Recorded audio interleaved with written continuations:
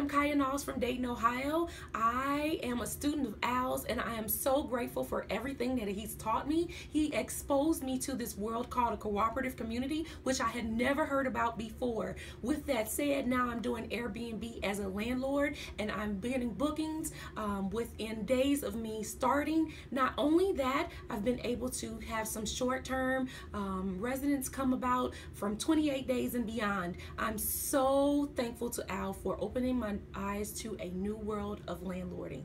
Thank you, Al.